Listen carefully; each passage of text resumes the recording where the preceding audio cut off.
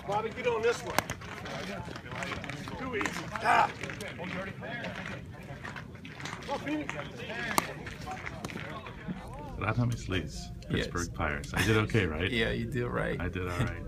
Tell me a little bit about being back in North America and pitching here. Was that something that you wanted?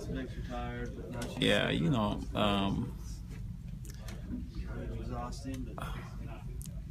when I went to Korea, I didn't really want to go there, but you know, I have like a good opportunity there, make a little bit of money, and then after that, I was playing there to come back here, you know. But uh, since I was getting paid better money, and you know, um, I didn't want to come here just you know for nothing. So that caused me to be a better pitcher, you know. And that's how I, you know, I came here.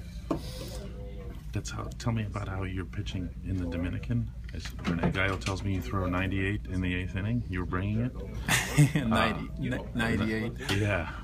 Well, you know, um, I think it's it's a gift from God, you know. But I'm I'm not the guy who think, you know, I want to throw 98. Right, Then I the want guy to throw the speed, you know. But you know, it's happened because it's there, you know. But I'm a kind of more control guy now. Yeah, you're not overthrowing it. Yeah, no, mm-hmm. no, I'm not thinking about that.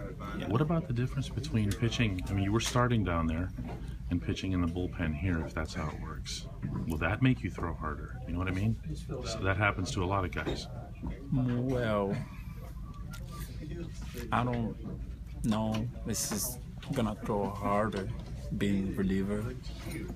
Like I said, now my mentality is it's not to throw harder No. right now. Not at all. Yeah, yeah. just control the game. I mean, control my pitches, and I don't really know if I can throw hard being from the bullpen. You know.